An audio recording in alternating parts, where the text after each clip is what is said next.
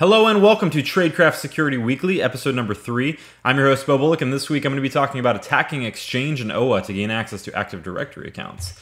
Um, so jumping right in, you know, pretty much every organization who hosts email for their for their their employees uses either Exchange or Office 365. They're just they're the most popular platforms out there for email. Um, and the thing with with with regards to an, a remote attacker and why they're enticing is typically a, they're remotely accessible, meaning that most of the time, um, if they're using um, Exchange, they're hosting like an OA portal remotely accessible for their employees to access remotely. Um, and they're typically tied to Active Directory infrastructure. So, uh, you know, if if we can attack a remote endpoint to the point that we can gain access to the credentials even of a user um, from a, from an Active Directory domain, a lot of times we could then take that uh, to like a VPN portal and try it there. If they're not using two-factor authentication to allow uh, to, to, allow users to VPN in, we might be able to just straight up VPN in after grabbing a credential. Um, or you know, if we are doing a physical assessment, maybe we could just take that credential with us to the site and then just you know walk up and log in.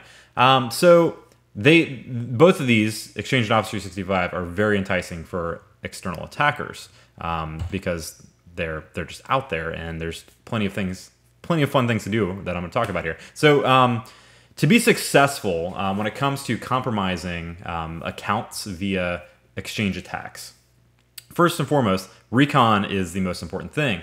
Um, so, discovering the username schema uh, for an organization tends to be one of the more complicated issues. And the reason is because if, if an organization uses randomized usernames and they don't use like a standard username schema, a lot of times you can't just like, you know, magically create that list. Uh, so in Tradecraft Security Weekly episode one, I detailed one of the methods that we use pretty often, and that is to find uh, usernames in publicly available files and the metadata of those files.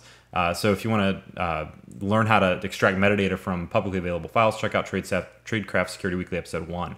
Um, so once we kind of understand what the username schema is at an organization, a lot of times we can craft more usernames based off of um, you know valid employee names that we know are at the organization from something like LinkedIn, or we can create a list of the most popular names. So we don't even have to have like valid employee names. Like let's say we know there's 10 people at the company, um, and we only have five of those names. We could craft a list of you know a, a thousand most common names and potentially end up with a couple more of that that total of 10 uh, valid employee name list.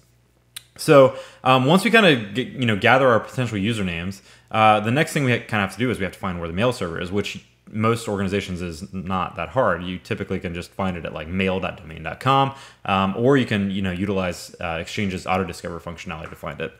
Um, and then you know the the cool thing about Exchange uh, for for an attacker's point of view anyway is like if if they're if if the organization hasn't set up UPNs to uh, allow users to log in via an email address, um, if they're if they're you know keeping it to the Active Directory login, meaning like domain slash username for login, a lot of times we still have to figure out that internal domain um, because you know if, if, they're not using the fully qualified domain name that's part of like the website infrastructure um, that's extra, externally exposed, a lot of times it takes you know some time to figure out like okay, well what's this internal domain? It might not be the same thing.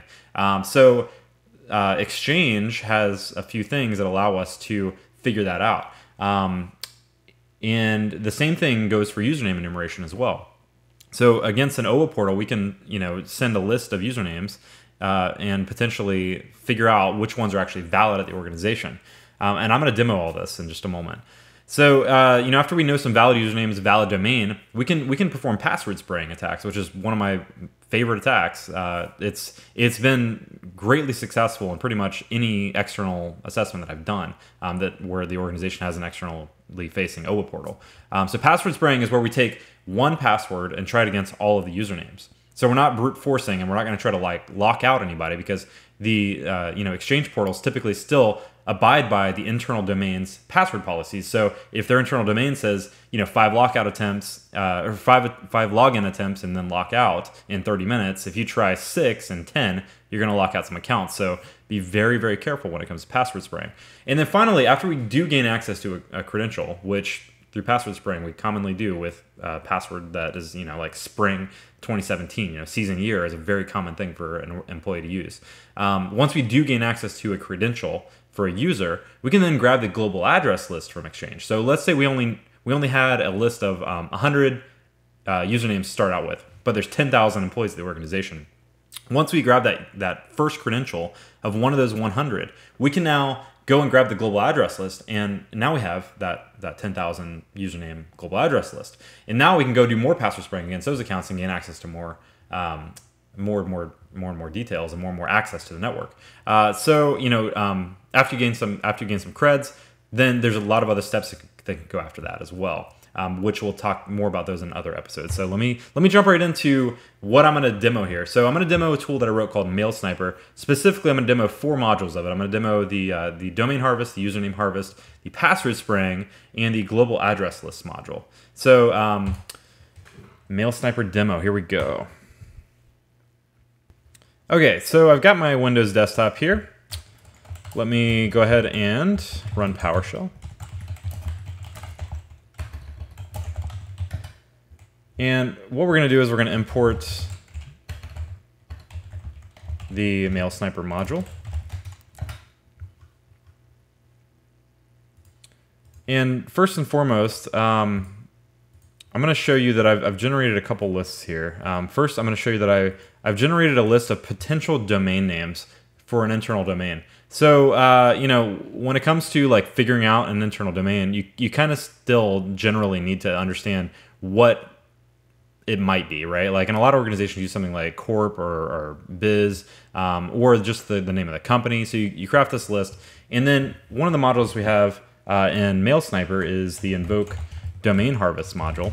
So domain harvest and we're going to give it the exchange host name of our uh, our mail server that we're attacking which is at deathstar-mail.corp.empire.com um, and then we're going to give it a domain list which is our domain list file, which I have in ctemp. And then we're going to out that file to potential domain names.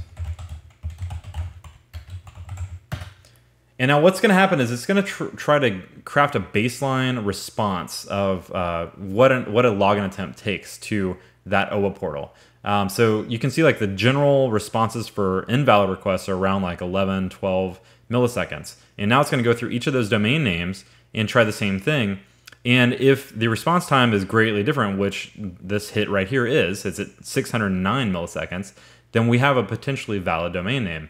So just those slight little subtle differences in the in the actual response time from a login request to uh, the the OA portal that's externally exposed has actually revealed the internal domain name for the organization.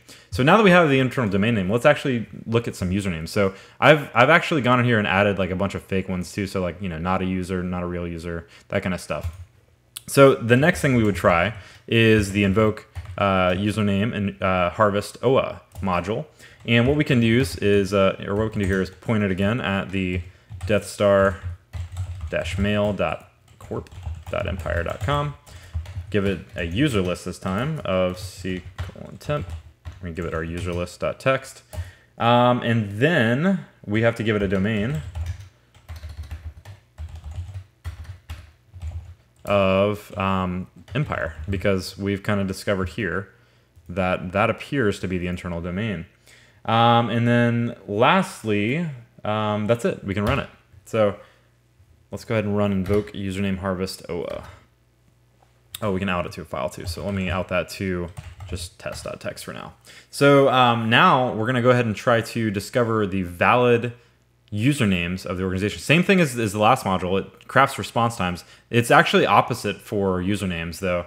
Um, so like the smaller the, the the time it takes, or the shorter the time it takes, it, it will actually um, show a valid username. Meaning like so like the longer attempt, so like 608 milliseconds, that's not that's not a real user. It's it's not going to come back as as being valid. Um, but these really short attempts, they are in fact valid users. So we've got our, our now um, our user list of potential users here. So um, you know after we've kind of established now that we know some valid usernames, let's go ahead and do some password spraying. So let's password spray OA, um, and we're going to give it the exchange host name of the same thing, Death Star mail.corp.empire.com. We're going to give it the domain of empire. We're going to give it a user list of c colon slash temp slash user list. and we're gonna try the password of, let's try spring 2017. So now what this is gonna do is it's gonna try to log into each of those, those um, each, each of those accounts uh, OA uh, mailboxes using a password of spring 2017. So um, it will go ahead and start up a few threads. Uh, by default, it starts at five threads. You can change that option as well. Um, and it will start trying to log in. And you can see we have three valid credentials that came back from Password Spring with those users. So we've got success with Spring 2017. Now, lastly, now that we have a valid account, let's go grab the full global address list. In order to do that, let's do get dash global address list, exchange hostname. We're going to give it the Death Star dash mail corp.empire.com again. And now we have to give it the credential for a valid user that we know. Um, in this case, we know empire slash, uh, let's say TK421, and give him a password of spring 2017. And let's go ahead and out that, uh, out the out the global address list to a file called gal.txt. And again, look out like when it logs into OA, it, like to get the, the gal from OA, it's super fast. So like you can see, like we've already got the 30 email addresses that were part of the global address list here.